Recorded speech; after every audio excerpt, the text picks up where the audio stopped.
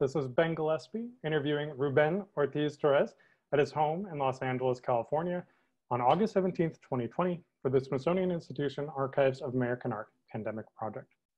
Ruben, could you tell me a little bit about what 2020 has been like for you and your life and your work? Oh, wow. Well, yeah. I mean, I guess, uh, I guess like for everyone else, it's been a disaster, right? I mean, it's a disaster. Um, I don't complain though, because I'm very lucky in a way. I mean, I'm, I'm healthy and, and I have a, a steady job, which most people do not have. I'm a professor uh, of the University of California. So, so in certain ways, uh, I probably have it better than most people. Um, but it's been it's been very difficult. I mean, it's been.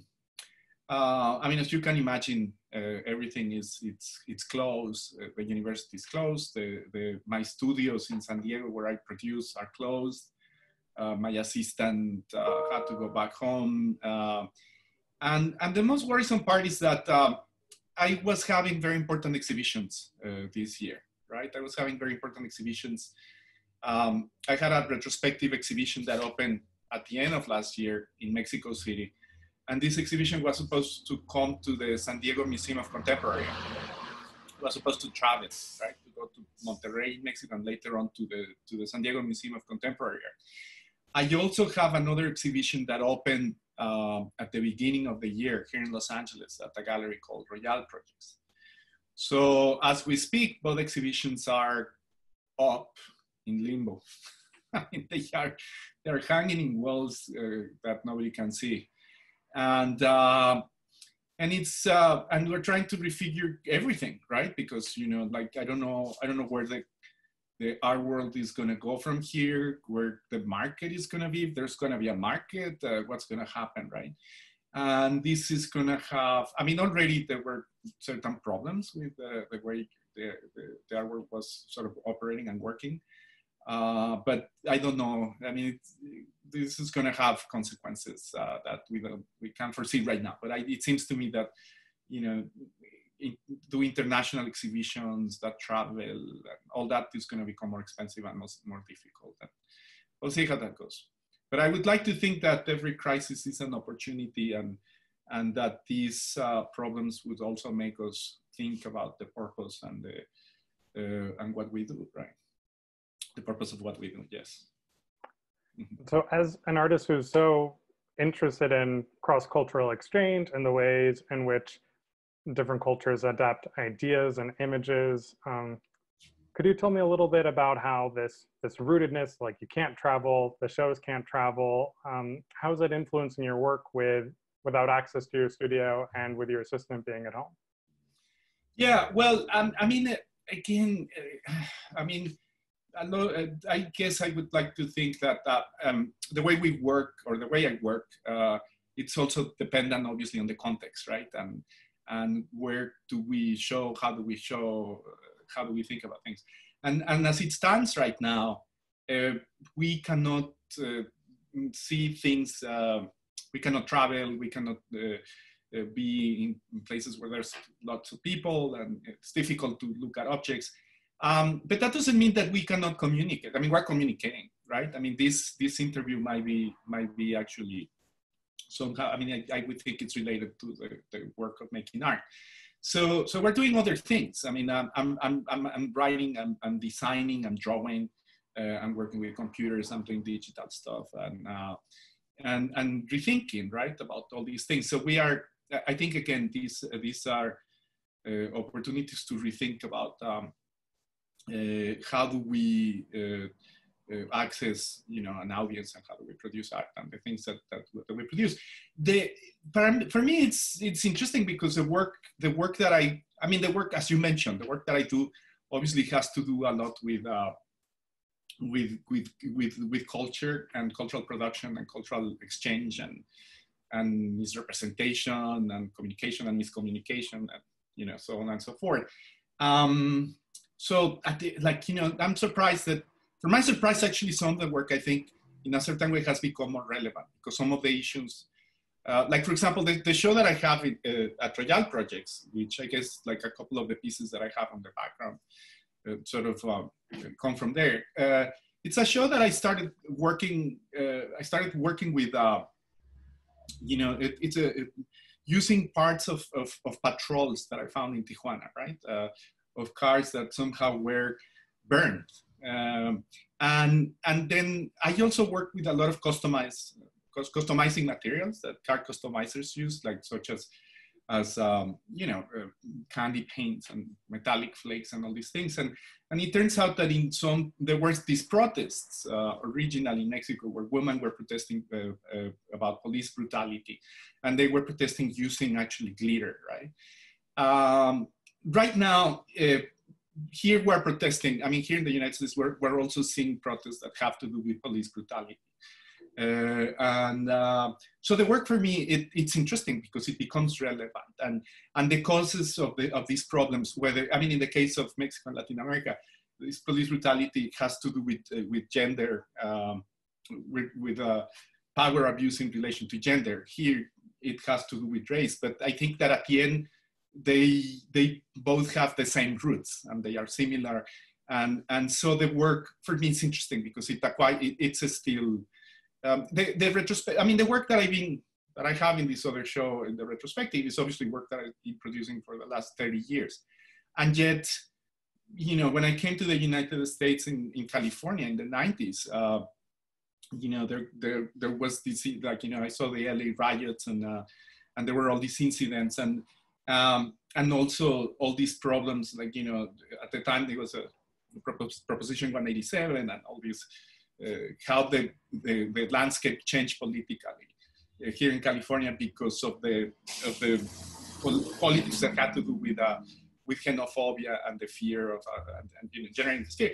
And, you know, we're like, whatever, 30 years afterwards, and we're still debating those things, right? So the work seems to me that it's still, I mean, even, is, is still relevant, and these issues still haven't been solved. And anyway, so, so there's, uh, yeah, we're still dealing with these things. So I think the work is still somehow or the other. Maybe right now we'll work on, on different platforms, but it's it, it, it's continuing. Yes. Mm-hmm. And have there been any subjects that have been particularly relevant to you working these past few months? What's drawing your attention and keeping your focus? Of course they are. I mean, I, am actually uh, quite amazed that, um, I mean, the his, for example, I don't know, for me it's really interesting. How do how do we value things? I mean, what what what thing? I mean, for example, you guys in the Smithsonian. I mean, for you guys, how do you guys? but What is what represents America, right? I mean, it's a this is a question that I you know, we, we we think a lot, right? And and for example, I've been since I came here, you know, I remember that. Uh, there's this uh, very important piece that that that uh, there's a story, this situation that happened in Los Angeles in the 30s, right? Uh, you have a Mexican artist that comes here, you know, uh, David Alfaro Siqueiros, and creates this mural that is his version of America. He calls it Tropical America. In this mural, he portrays this um, this Native American that is being crucified, right? And the and the mural gets censored you know, the, the woman that commissioned the, the, the, the, mural who used to work, like, you know, they were developing Olvera Street, she censors the mural and, paint, and covers it, paints it white. So uh, now, uh, years afterwards, now the Getty Center, I mean, we're spending a lot of money trying to recover that, that mural. But at the same time, we're destroying other monuments, right? It's like the, the all of a sudden, and, and here in the case of California, I mean, the, the monuments to Junipero Serra, Fray Junipero Serra, for example, of the, um, you know, uh, have been considered problematic and they've been removed, right? Um, in other parts of the country, those monuments have to do with, uh, with the Confederacy, right? And, and they bring back a legacy that, and a series of problems that, that are affecting people directly, right? I mean, people have, I mean, you know, the, there's issues of police brutality, uh, racism, uh, violence, and, and so on and so forth. So, so we have to reconsider what what what kind of um, I mean, what monuments do we want to have? Do we want to have monuments at all or not? I mean, uh, and then we, there's this kind of iconoclasm, right? Like certain things go up, we destroy certain things, and we we construct some other ones, right? And um, and and and that's something that uh, I mean, I've always been I've been sort of interested, right? It's like, you know, what um, I mean, the relationship between abstraction and figuration, the, the politics of abstraction, the politics of, uh, uh, uh, the, of the destruction of art or, or, or, creation. I mean, these are these are issues that are contested, that are relevant, and, I, and we're trying to redefine them, right? And and uh, and right now, you know, obviously, that's that has become is something that has become very very important, and it's been debated a lot right now. Mm-hmm. So, do you find well? I mean, what are some strategies that you have been deploying? So, uh, talking about iconoclasm. Um, how do we how do we deal with history if it's not just destroying the records that we have and getting rid of the monuments is it is it the determinant like defacing and adapting the history how do we grapple with it and um, how are you feeling those effects and consequences in your art in your teaching well i mean to be honest with you uh, because obviously it's a complicated question right i mean is, is it about just substituting certain kind of icons by others and, and just be constantly playing with these substitutions and having this rotation of, of iconographies. Um, I, I would like to think that the problem is not, it shouldn't be, uh, the problem I don't think it should be uh, trying to define, uh, you know, trying to select certain iconography, like, you know, to define a, fi final iconography because it's, again, um, what defines, right? I mean, what, what's going to be this iconography that defines America? And I, I personally don't think that it, it has to do with that. I would like to think that if anything, um, it should be to find mechanisms of negotiation and reconciliation uh, that that would that should allow the freedom of the people that participate uh, to, of, of, all of us, right? So that we all of us can participate into the into the into, the, into these, these discussions and these mechanisms. It's not about substituting ones for others. I mean, I don't think it's, it's, it's about substituting one kind of intolerance for another one. But in fact, to create certain mechanisms that allow for, for these uh, uh, process of negotiations and, and, and reconciliation. I don't think for me the problem, I mean, we're, it, we're in a very interesting moment because, you know, for the, for the longest time we have, we have had this, uh, this idea of art and history as this sequence of events where one thing substitutes the other and substitute, and then there's this kind of parricide, right? Like, you know, we killed whatever was before us and, and come with something else, and, and then that eventually will be killed. And I think at this point, we're getting to this moment where we have tried everything and none of it worked perfectly, right? Everything. Uh, and, and, uh, and so, you know, we talk about the end of art or the end of history. I mean, it's not that there's the end of art or the end of history, but I think there's a, there's a moment to figure out that it's not it's, it's not necessarily about abstraction or figuration. Um, that both, you know, there's politics involved in both uh, languages or in any language that we use. Um, but it's more about hopefully creating these uh, sort of kind of mechanisms that, that, that can allow for this process to be negotiated peacefully. I mean, I don't know what to tell you. I mean, in a, in a way, I'm still probably wrong. I mean, I, uh, it's interesting to me because it seems to me that we have two contested versions of what America is, right? On one hand, on one hand, we have this model, um, this abstract model. America is this set of ideas, right? You know, democracy, freedom, and, and then we have this other. But of course, that that model is always being a paradox because at the end, the freedom was never there was never freedom for everyone. Uh, it was supposed to be this, uh, you know, freedom of religion, freedom of this, freedom of that. But at the end, it was a okay. Everybody would have to assimilate to this, you know, Anglo-Protestant model. so it, that, that was a contradiction in itself, right? Well, do we really have freedom or we have to assimilate? On another hand, we have this, it seems to me that there's this other notion of, of, of America that exists sort of in opposition to Europe or Asia or Africa, right? And it's this, this idea of this new world where things collide and combine and mix, and, you know, the nation of immigrants. And, and in this notion of America, I'm, I'm, I'm using America now in a broad sense, right? In a Pan-American sense, actually. Uh, and both are interesting ideas to me, actually. Uh, if we if we consider the first one as an abstraction, as this idea where there's this place where we have these these models of uh, of freedom and democracy and negotiation, it's it could be actually quite universal and appealing for everyone if we apply it as it's as, as it says it's supposed to be, without these other ideas of of having to assimilate to a particular religion or ethnicity or whatever. Um, in, and in the other model, I think there's also a lesson because it's also it's also this idea of, of, of miscegenation or mestizaje, right? That involves uh, the possibilities that, you know, to incorporate that to, to really be America is this other project that is actually not Europe. uh, that that uh, that that that involves say like you know an African presence or an uh, an Asian presence, and I would say an Asian presence through Native American presence. Um, I think both. I don't see both in opposition. Actually, I think both models actually perhaps could be complementary, and culturally for an artist interesting. You uh, so hopefully, I, I, don't know. I mean, uh, it's hard to say right now because we have all of this is being contested. But I would like to be optimistic and think that that hopefully out of this mess uh, uh, we would advance towards this better situation. yeah. Right. Well, I guess um, I realize now belatedly I should have asked you to tell me a little bit about the art that is forming your background right now. Uh-huh.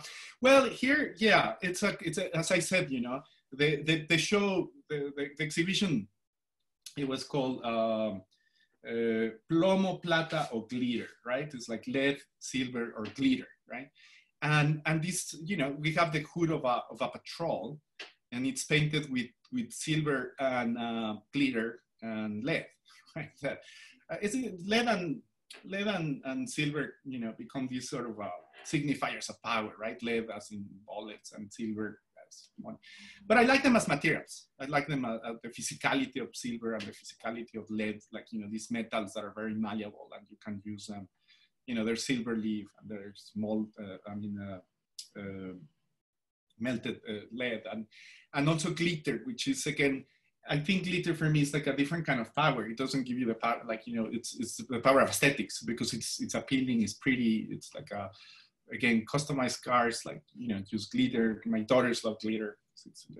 So anyway, I use these materials and I, I, create, I created this, this playful, um, the panel on the, there's a panel, the monochrome pink panel, uh, that's a little bit like a joke. It's supposed to be the pinkest pink, you know, it's, this, it's painted with this pigment that claims to be the pinkest pink of all them. And, um, and, and it also has a little bit of glitter, hard to see, but if you look at it, like, you know, it has this sparkle that, you know, so, so again, these are like, uh, they're abstract, but they also relate to the, they have particular histories because that, uh, that hood actually, it belonged to, to a patrol and it was shot. Uh, so it actually could be, I assume there's some forensic evidence there of, uh, supposedly it, these were shot in around the border, like, you know, the, uh, some years ago, presumably by the cartels.